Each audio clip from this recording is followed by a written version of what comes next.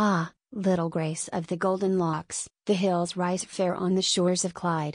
As the merry waves wear out these rocks, she wears my heart out, glides past and mocks, but heaven's gate ever stands open wide.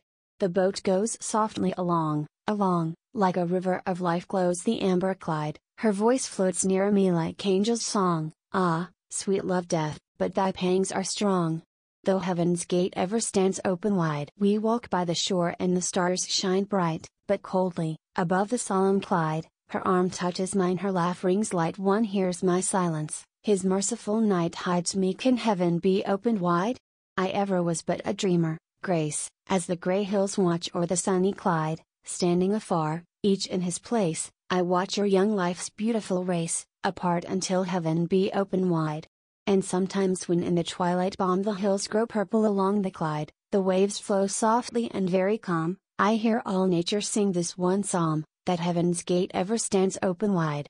So, happy Grace, with your spirit free, laugh on. Life is sweet on the banks of Clyde, this is no blame unto thee or me, only God saw it could not be, therefore his heaven stands open wide.